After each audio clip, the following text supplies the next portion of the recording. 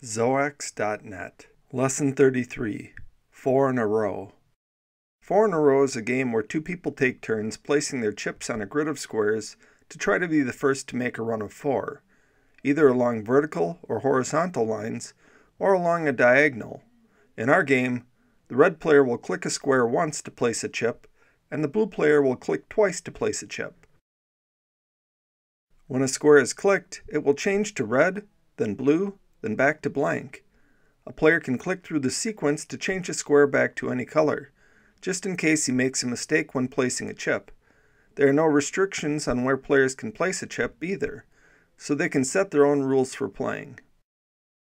They can specify that they will only allow chips to be placed in the lowest unoccupied spot in a column, or they can allow chips to be placed anywhere at any time. This is not a JavaScript program though, so rules are not enforced by the code. Instead, they are simply set and enforced by the players. This is the main game file. It consists of a table with six rows and seven columns. We have put the game name and the caption inside an H2 heading so that it is displayed above the game board. We put a border around the cells and the table, like we did in some of our previous tables, to make it look more full. The rest of the file is simply the table full of rows of the same cell. Inside each cell is an iframe element. Recall that iframes allow us to display an HTML document inside them. These iframes use the document blank.html as their source. That document holds a blank image that is 50 pixels by 50 pixels. The iframe is set to 70 pixels by 70 pixels to accommodate the built-in margin. The use of iframes is similar to how we created our tic-tac-toe board. However, here we used a table to accomplish the layout positioning, rather than line breaks. Also, we have eliminated the image maps in favor of a cyclic selection that cycles back to blank. This seems a little more intuitive and allows us to fix a single square without changing the board if we make a mistake.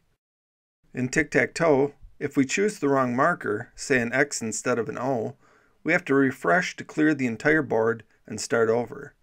In four in a row, we can just cycle back to blank to reset the tile.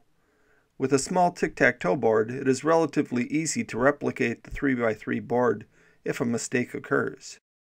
With a larger board like this one, trying to remember and recreate the entire board if a mistake occurs is frustrating and difficult. So I decided to cycle the squares through the tiles to make corrections quicker. If you hover over an empty tile, you can see the link at the bottom of the document. The link says redchip.html because this link opens the redchip HTML document when it is clicked. If you hover over the red chip, you can see the link to the bluechip.html document. If you click it, that document is displayed with its blue chip. Finally, if you hover over this, you see the link to blank.html at the bottom of the window, which opens when you click the blue tile.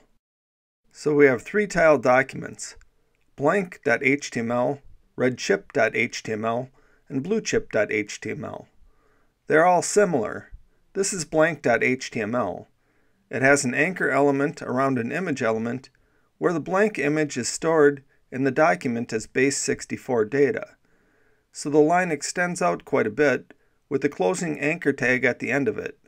The anchor element links to redchip.html. The redchip.html document is just like blank.html with its base64 image and a link to bluechip.html.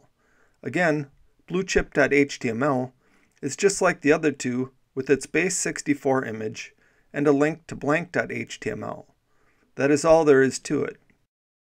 With these four HTML documents, you are ready to play, and when you are not playing the game, you can use the board to draw little pictures on.